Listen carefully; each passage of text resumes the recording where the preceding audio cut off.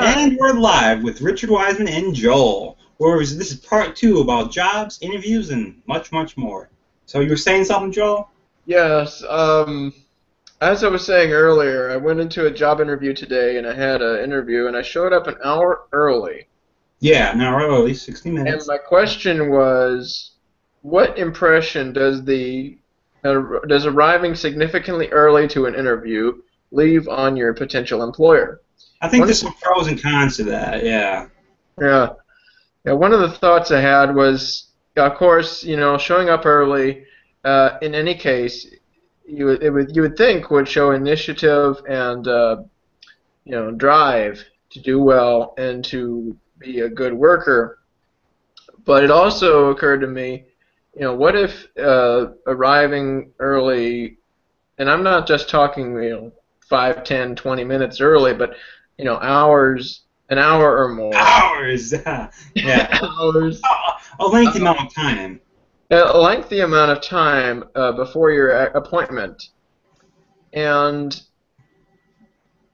and my question is, do you think that would leave a negative impression on the employer in that they would see you then as um, kind of, I will nervous for lack of a better term, and that would affect your working habits?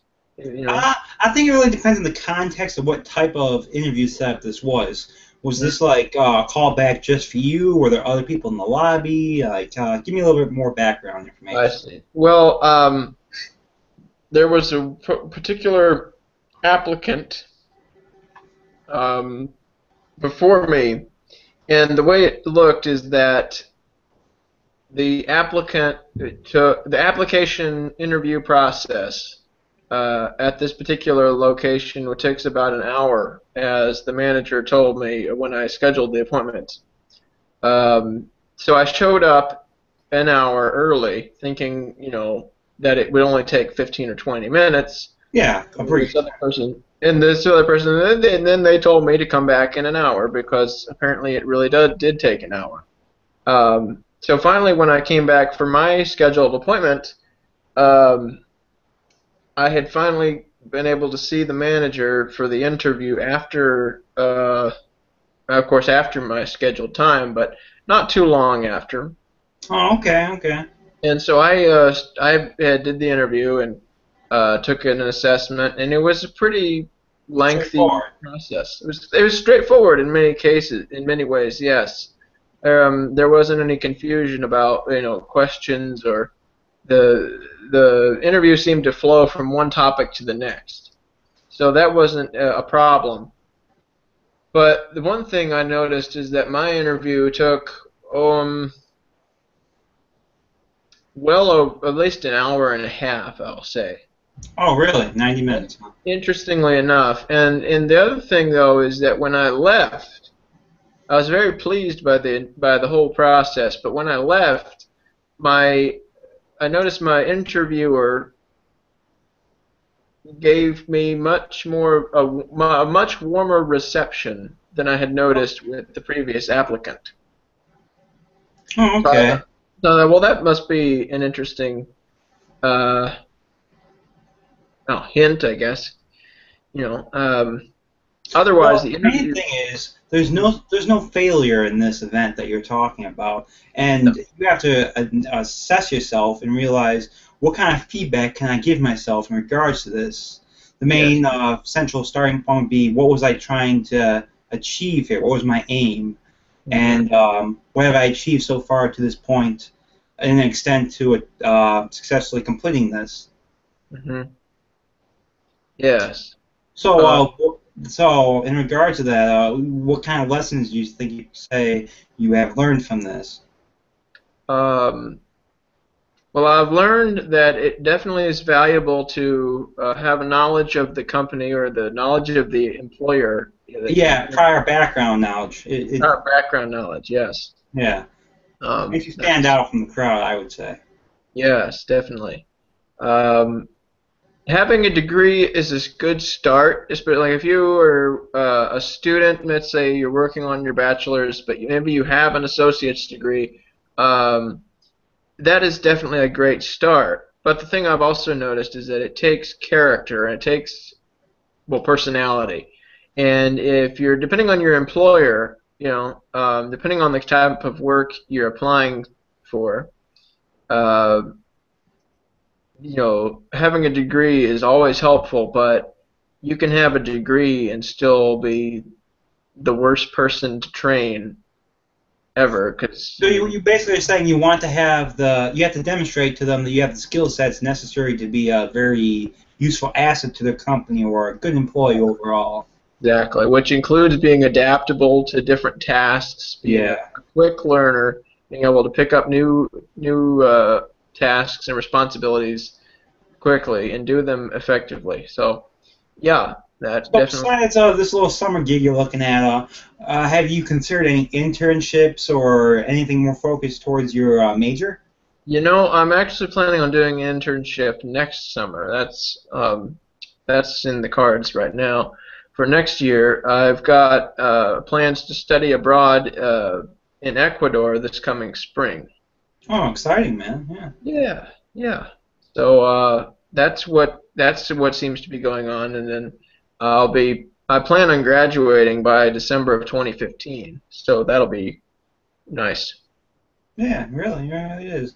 So, um, from your standpoint, do you have any tips for people who are uh, trying to get a job Mm. Um, off the top of your head? Right. One thing is, of course, dress nicely. And when I say dress nicely, it, it, that varies depending on the type of work you're applying for. If you're applying for, let's say, a tuxedo shop, or um, or you know some department store perhaps, or some other higher end um, retail facility, then you might want to go with a suit and a jacket, well, jacket and pants, and Dress for success. just, just a little bit, yeah. Dress What I have to say about that is, um, from my experience and what I've gathered, is that uh, you, you want to kind of uh, maybe feel out the situation before arriving for an interview, such Yeah. as go to the place of employment if possible and see how your future employment place operates, such as what do uh, your position, the people in your position would wear at said work. So when you show up to the interview in uh, identical appearance, you uh, have that cohesive um, look to yourself, showing that you would fit into their culture. Yes, I can see how that would relate.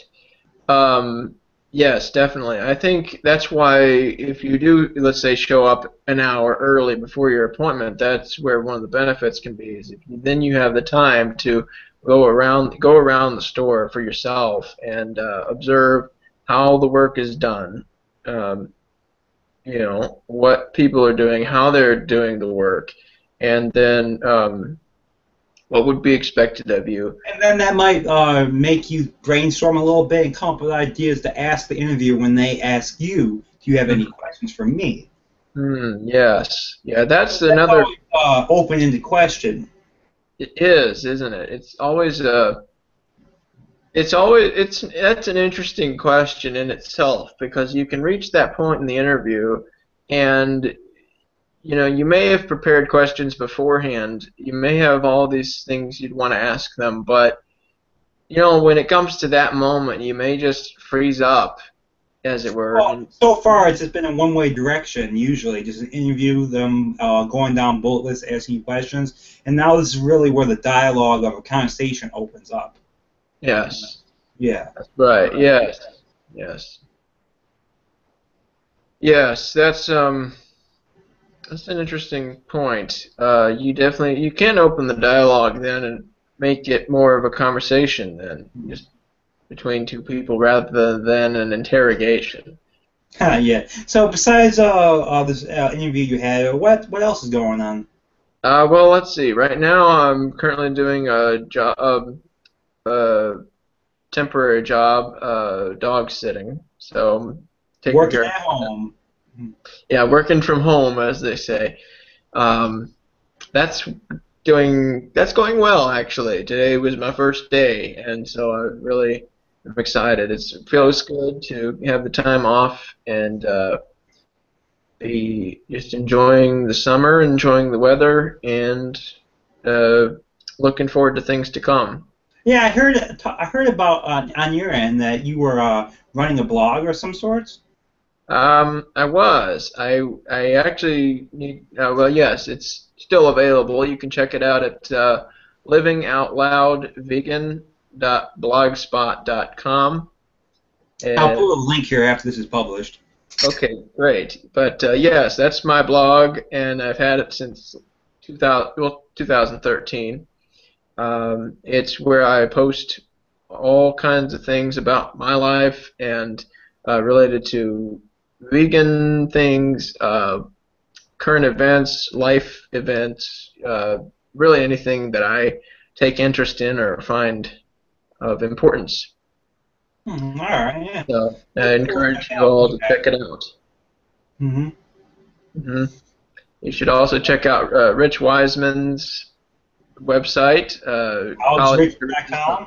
That's Yep. C O L L E G E number two riches.com.